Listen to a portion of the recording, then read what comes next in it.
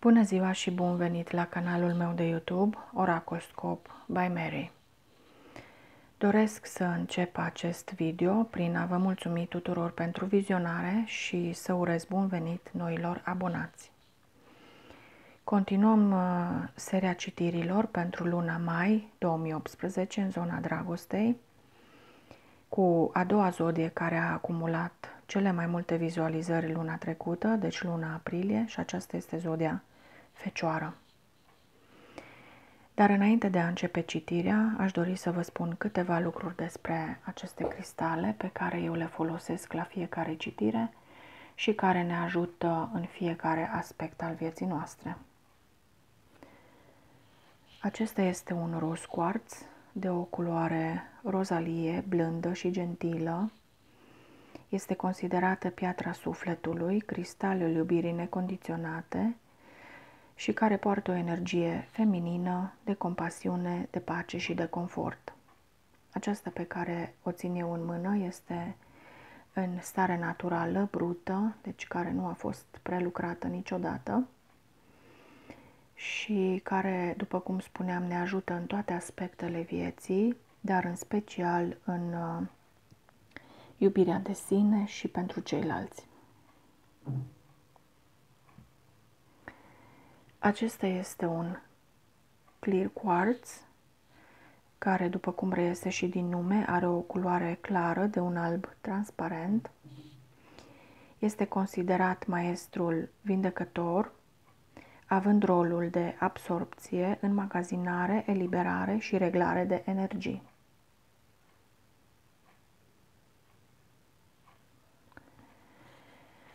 Și acesta este un ametist, de asemenea în stare brută, naturală, care nu a fost prelucrat. Ametistul are o culoare violet deschis sau un mov deschis. Este o piatră de meditare care calmează și care lucrează în plan emoțional, spiritual și fizic pentru a aduce calmul, balanța și pacea sufletească. De asemenea, este folosită pentru a elimina nerăbdarea.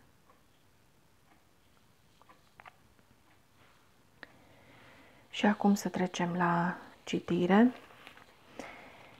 Deci, continuăm cu zodia Fecioară, zodie de pământ, care începe din 23 august și ține până în 21 septembrie.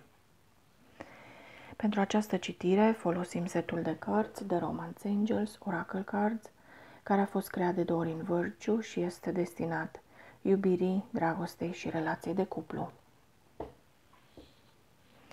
Am amestecat bine cărțile și cartea care dorește să ne vorbească pentru voi uh, Fecioară pentru luna mai 2018 este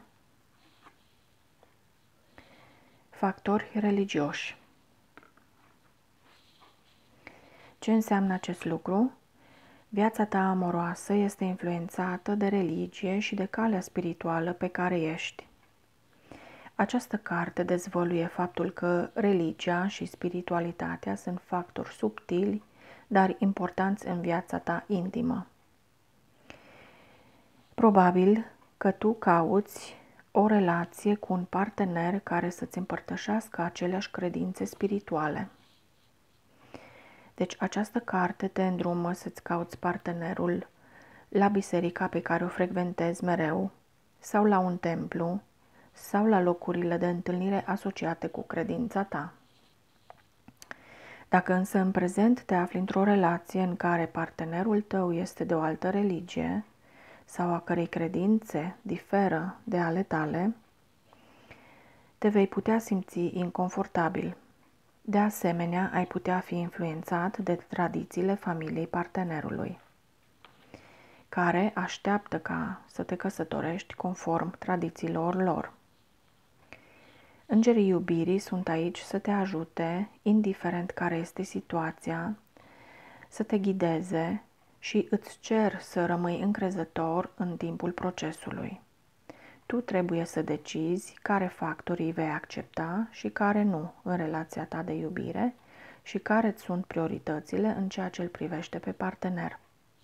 De exemplu, Este posibil ca interesele voastre ca parteneri să treacă peste principiile spirituale, cum ar fi iertarea, blândețea și alte asemenea calități, pe care amândoi le considerați importante, chiar dacă fiecare dintre voi împărtășește diferite credinții și sau religii. Îngerii îți reamintesc că și partenerul tău, ca oricare dintre noi, este copilul lui Dumnezeu și nu ține de tine sau nu poți tu să-l schimbi pe partener, la fel cum nici el nu te poate obliga să te schimbi pentru el, pentru ca amândoi să aveți aceeași religie sau credință. Rugăciunile, afirmațiile și vizualizările vă pot influența pozitiv pe amândoi în relația voastră. Cam acestea au fost recomandările pentru voi, Fecioară, pentru luna mai.